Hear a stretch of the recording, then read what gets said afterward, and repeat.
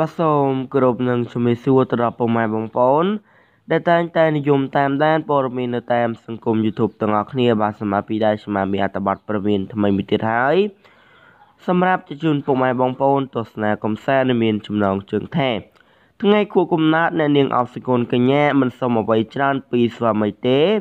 សុំត្រឹមតែបាទចុចចុចដឹងថាអ្នកនាងអបសកូនកញ្ញា គាត់សុំអ្វីបាទពីលោកអឹងសុកលីនោះសុំទៅតាមដាននៅខ្លឹមសារនៃអត្ថបទជំនុំខ្ញុំទាំងអស់គ្នា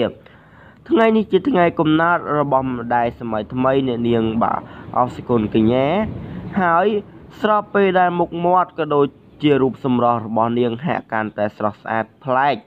និងឡើងកោតខ្លាំងឡើងខណៈពេលដែលនាងមានស្វាមីបានមើលថែឲ្យពោពេញទៅដោយសុភមង្គលរាល់ថ្ងៃ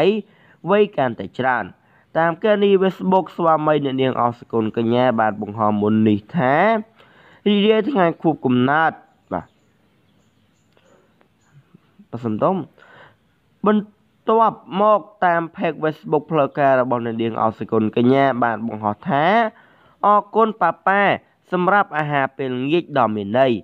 មិនសុំអ្វីច្រើននោះទេសុំត្រឹមតែមានបងក្បែរអូនរហូត បាទបញ្ចឹងព័ត៌មានដែលខ្ញុំមកជូនបងប្អូននេះក៏មានតែប៉ុណ្ណឹងហើយក៏សូមអរគុណសម្រាប់ការតាមដាន